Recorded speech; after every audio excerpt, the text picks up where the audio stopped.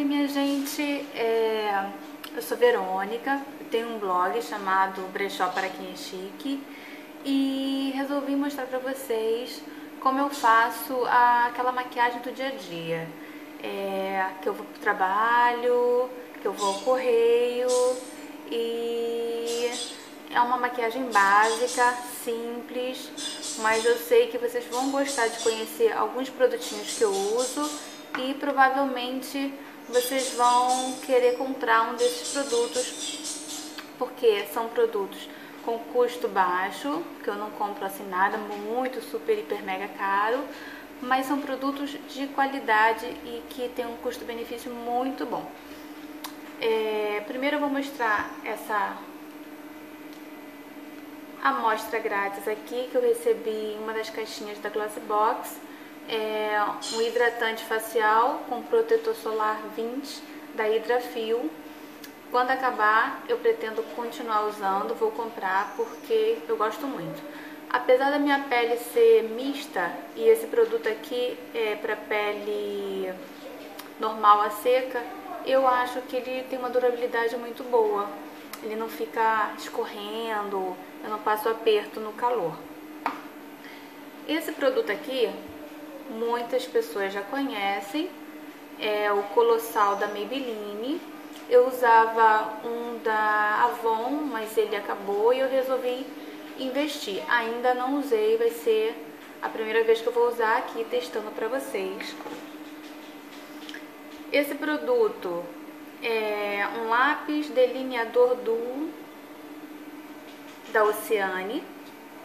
Ele veio de brinde na revista Glamour deste mês de junho de 2014 e eu também ainda não usei, mas já gostei porque ele é grosso e ele é cremoso, macio, lápis seco, ninguém merece.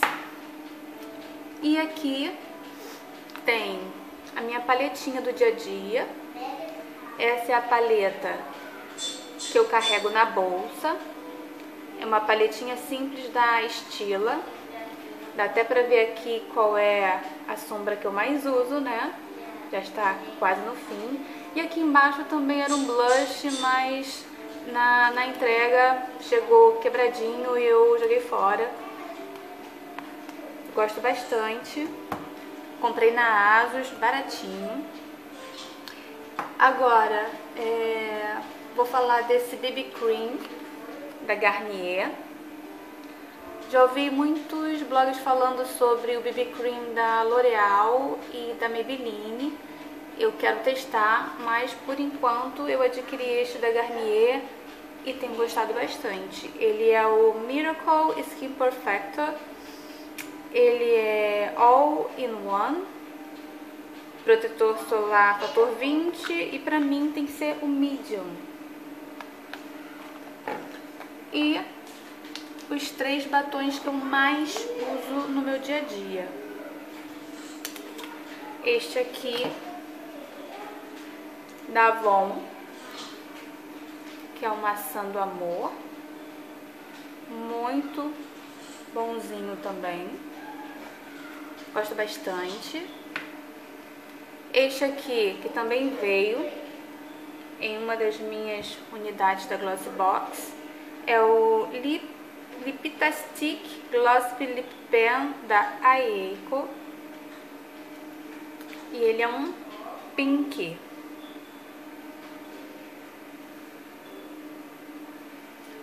Gosto bastante dele. E o meu batom vermelho. Sempre quis um batom vermelhão. Esse é um vermelho um pouquinho fechado acho que combina mais comigo. Ele é da Rimmel Londo e o nome dele é Diva Red. Diva Red, ó, tem até uma coroa aqui da Rimmel Londo, também comprei na Asus. Não vou é, fazer edição, até porque eu não sei, não aprendi ainda. Então eu vou tentar ser rápida e prática. Vou começar tirando óculos, né? Quem usa óculos sabe dessa dificuldade que a gente tem de maquiar, olhar e chegar à conclusão de que está boa ou não. Minha pele já está limpa, eu já passei esse hidratante facial. Agora eu passaria um primer, mas para passar o primer eu teria que esperar secar. E no dia a dia eu não uso primer. ok. Então vamos fazer exatamente como eu faço no dia a dia. Eu passo um pouquinho do BB Cream. Uso essa esponjinha que é muito boa. Essa esponjinha, não lembro onde eu comprei. Se não me engano foi na Sephora numa promoção. Na minha testinha, que é relativamente grande. Espalhar bem nos olhos, na parte de cima e de baixo.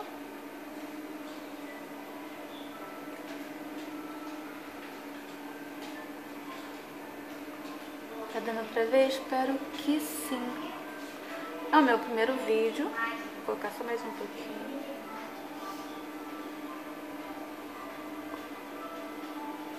Depois, quem for expert em maquiagem, que não é o meu caso, pode deixar comentários aí me dando dicas, eu aceito.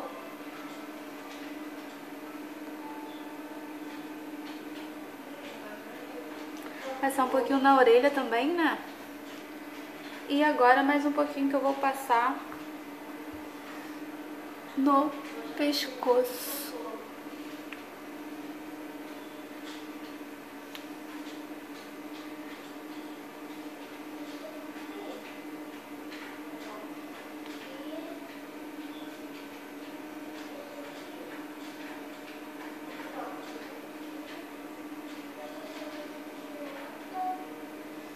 bem espalhadinho, né?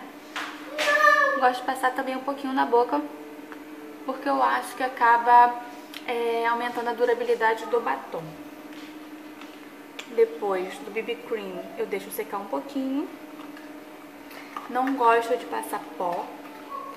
Esse BB Cream, ele é muito bom. Depois que ele seca, ele fica com uma textura sequinha. Até parece que passou pó. Eu acho que essa é uma das várias vantagens do BB Cream, além de economizar tempo.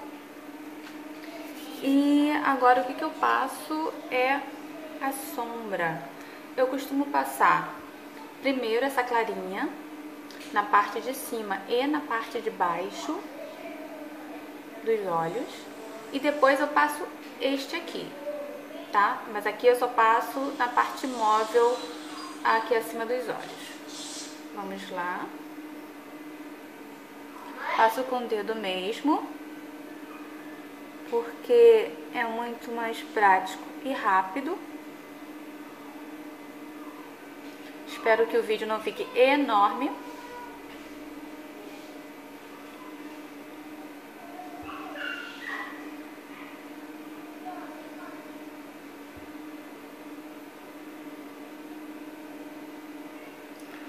Tô passando rápido para economizar tempo.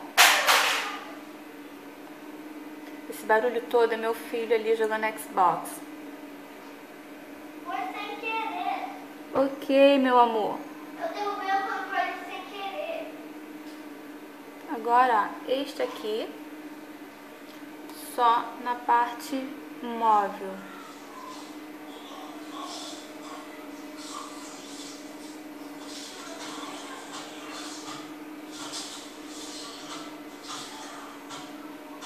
Agora eu vou passar o blush.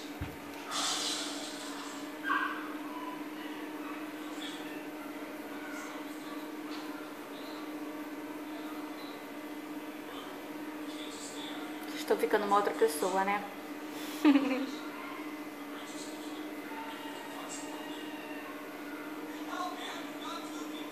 Vou dar uma olhadinha no espelho do, da paleta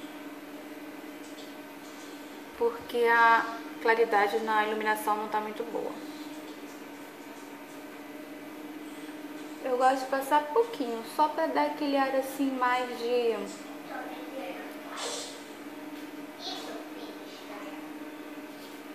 De sa saúde, né? De saudável. Agora eu vou passar o rímel. Gosto de tirar o excesso. Eu já tenho os cílios longos, então é mais pra dar um destaque.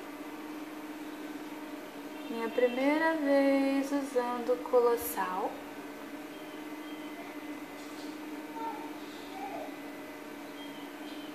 Que ótimo, né? Tô tapando.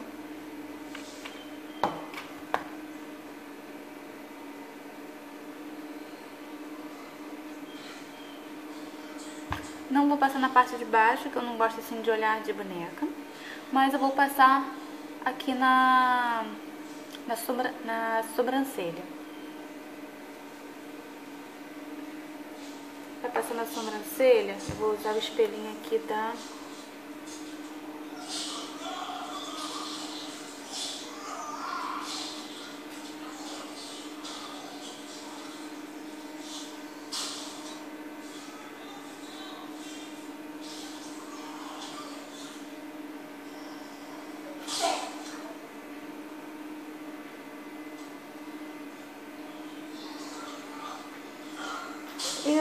Acho, como eu estava usando o rímel da Avon, que já estava acabando, estava sequinho, e ficava melhor a sobrancelha, mas ainda tá com muito resíduo de rímel, então ficou muito marcado, ficou em excesso.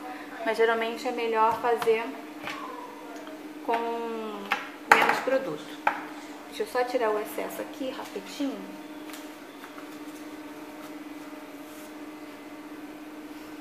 Vamos ver se agora fica um pouquinho melhor.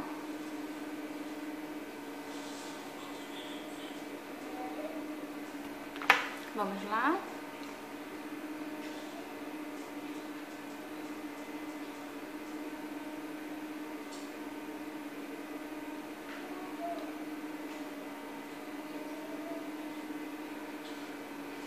Hum, não era pra ficar assim, mas Acho que vocês entenderam a ideia, então quando estiverem usando o rímel novo, antes de passar na sobrancelha, please, tire o excesso para não ficar tão cheio de produto, tão marcado assim.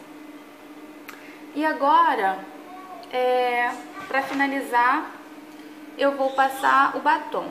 Primeiro eu vou passar o mais clarinho, para vocês verem como fica com ele clarinho, que é esse maçã do amor da Avon.